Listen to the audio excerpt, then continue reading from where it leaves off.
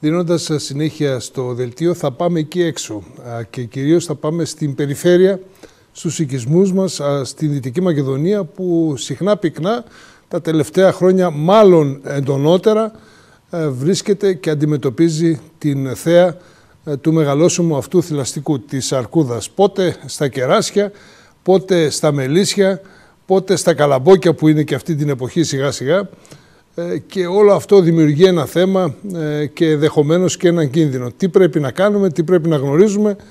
Ε, καταρχήν πώς είναι η εικόνα θα μας βοηθήσει σε αυτή την κουβέντα ο Αντιπεριφερειάρχης, ο αρμόδιος Αντιπεριφερειάρχης, ο Πασχάλης ο Χαρούμενος, τον οποίο έχουμε στο τηλέφωνο. Ε, κύριε Αντιπεριφερειάρχη, έχω την εντύπωση, έχω την αίσθηση από το ρεπορτάζ ότι τα τελευταία χρόνια έχουμε μεγαλύτερη και πιο έντονη την εμφάνιση ε, της αρκούδας στην περιοχή. Κύριε Μαυρίδη, καλησπέρα και σε εσάς και στους τηλεδέατες. Ε, δεν πάει άλλο πια και λέω με μία κουβέντα γιατί πραγματικά τα προβλήματα που αντιμετωπίζουμε στην περιφέρεια Δυτικής Μακεδονίας προπάντως με τις αρκούδες είναι πάρα πολύ σοβαρό φυσικά και με τα αγριογόρουνα. Από το 2009 από θέση ευθύνης όταν ήμουνα αντινομάρχης είχαμε τεράστια προβλήματα θυμόσαστε κι εσείς στην Εγνατία Οδό. Είχα συναντηθεί τότε με τον Υπουργό που ήταν ε, μαζί με τον Καχρημάνη, τον Αλέκο από την περιφέρεια Δυτικής Μακεδονίας, με τον κύριο Σοφλιά. Είχαμε καθημερινά τροχαία δυστυχήματα στην Εγνατία Οδό και τότε είχαμε συναντηθεί και δώσαμε λύση με το φράχτη αν θυμόσαστε που ήταν δηλαδή πάρα πολύ απλός. Πραγματικά ο κύριος Σουβλιάς έδωσε λύση στην Εγνατία Οδό, αλλάχθηκε όλος ο φράχτης και στην περιφέρεια Δυτικής Μακεδονίας γιατί από τη Σιάτισσα ως τα Κρίσταλα είχαν γίνει πάρα πολλά τροχαία και σήμερα προπάντω, προπαντός έχω προβλήματα τεράστια.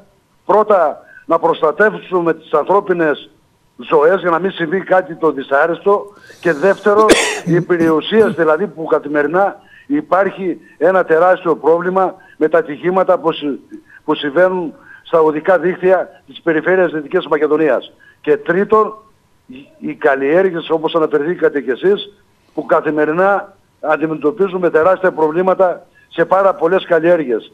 Εχθές κοντέψαμε να τρινήσουμε ανθρώπινη ζωή στην Καστοριά, στον οικισμό του Δυσπηλιού. Ε, αρκούδα επιτέθηκε σε έναν κτηνοτρόφο και αν δεν είχε ο άνθρωπος θάρρος και θράσος, σήμερα θα, θα είχαμε θρηνήσει ανθρώπινη ζωή, επιτέθηκε, πήγε να επιτεθεί το κτηνοτρόφο και μπροστά ήταν τα ζώα. Δεν πάει άλλο πια. Πρέπει να καταλάβουν τα συνυπεύθυνα Υπουργεία, γι' αυτό και χτες κοινοποίησα το Υπουργείο Αγροτικής Ανάπτυξης, το Υπουργείο Περιβάλλοντος και την περιφέρεια, την, περι, την αποκεντρωμένη δασών της Υπήρου, γιατί να καταλάβουν ότι δεν πάει άλλο και να μην θρυνήσουμε ανθρώπινες ζωές και να μπορέσουν να αποζημιωθούν οι, συν, οι, οι συμπολίτες της περιφέρειας Δικής Μακεδονίας να αποζημιώνουν τα αυτοκίνητα. Κύριε Μαυρίδη, αγοράζει κάποιος ένα αυτοκίνητο. Η αρκούδα είναι προστατευόμενο ζώο. Δηλαδή ποιος θα προστατεύσει σήμερα τον άνθρωπο, τον άνθρωπο και την περιουσία των συμπολιτών της περιφέρειας Δυτικής Μακεδονίας; Πρέπει να καταλάβουν και οι βουλευτές ενημερώθηκαν όλοι οι βουλευτές της περιφέρειας Δυτικής Μακεδονίας ότι πραγματικά υπάρχει τεράστιο πρόβλημα με τις αρκούδες στην περιφέρεια Δυτικής Μακεδονίας και με τους αγριόχειρους, με, με, τα, με τους κύρους που είναι ένα θέμα και αυτό πάρα πολύ σοβαρό αλλά τα, το πιο σοβαρό πρόβλημα σήμερα στην περιφέρεια Δυτικής Μακεδονίας είναι η πληθώρα που έχουμε με τις αρκούδες. Τώρα, Αυτή κύριε, είναι κύριε η εικόνα, κύριε Μαυρίδη. Επιτρέψτε μου κύριε Χαρούμενε, ε, κύριε Αντιπεριφερειάρχη, είναι επειδή αυξήθηκε το είδος, έχουμε πολλαπλά ε, πολλά περισσότερα ζώα, τα, αυτά τα μεγάλα θηλαστικά ή ενδεχομένως έχουν αλλάξει και οι βιολογικές τους συνήθειες, κατέβηκαν πιο κοντά στον άνθρωπο, στους οικισμούς λόγω έλλειψης τροφής. Τι από κύριε, τα δύο... Μαυρίδη, κύριε Μαυρίδη, επειδή είμαι άνθρωπος της φύσης, είμαι τρίτη γενιά που ασχολούμαι με τη φυσική και με το ζωικό κεφάλαιο και επειδή έχω επαφή με τη φύση, παλιά η αρκούδα γινούσε ένα Σήμερα οι αρκούδες γεννάνε 3 και 4 ακόμα, όπως έχετε δει και εσείς ας πούμε, γιατί πάρα πολλοί συνάδελφοι σας έχουν τραβήξει μέσα στις πόλεις. Εκεί είναι το πρόβλημα. Γιατί υπάρχει τροφή και παλιά οι αρκούδες τους χειμερινούς μήνες ε, ναρκωνόταν. Σήμερα αυτό δεν υπάρχει γιατί έχει αλλάξει, έχουν αλλάξει κλιματικές αλλαγές και γι' αυτό το λόγο υπάρχει και τροφή και ε, οι γένες που κάνουν δηλαδή είναι 3 με 4. Και όπως καταλαβαίνετε υπάρχει ένα τεράστιο πρόβλημα που δεν, μπορούν, δεν μπορεί να αντιμετωπιστεί σήμερα δηλαδή με τα δασαρχεία που έχουν βάλει να είναι υπεύθυνα. Σήμερα η πολιτεία πρέπει να πάρει μέτρα πάρα πολύ ε, δραστήρια.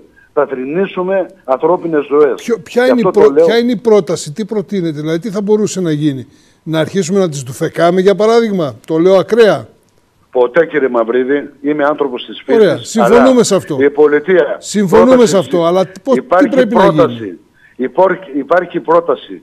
Καταμέτρηση όλες τις αρκούδες από τις οργανώσεις που έχουν δαπανηθεί πάρα πολλά χρήματα σε συνεργασία με τα δασαρχεία να καταγραφούν πόσες αρκούδες έχουμε στην περιφέρεια Δικής Μακεδονίας και να μεταφερθούν, να πιαστούν από τις οργανώσεις, να μεταφερθούν σε νομούς που δεν υπάρχει τόσο τώρα και να γίνει στήρωση.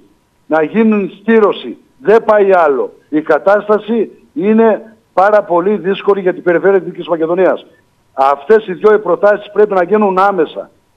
Άμεσα και πρέπει να περάσει και νόμος γιατί να αποζημιώνονται οι ζημίες όχι όπως αποζημιώνονται και κάποιες καλλιέργειες βάσει του ΕΛΓΑ για την αρκούδα και κάποιες ζημίες που κάνει. Εδώ μιλάμε για περιουσίες που το γνωρίζετε, που έχουν καταστραφεί αυτοκίνητα, που δεν μπορούν οι συμπολίτες να τα ξανακάνουν. Πρέπει η πολιτεία επιτέλους να σκύψει το κεφάλι και να ξεκινήσει σε αυτές τις δυο τις προτάσεις που αναφέρθηκε προηγουμένως κύριε Μαυρίδη. Σας ευχαριστώ πολύ. Να είστε καλά κύριε Μαυρίδη και εγώ σας ευχαριστώ.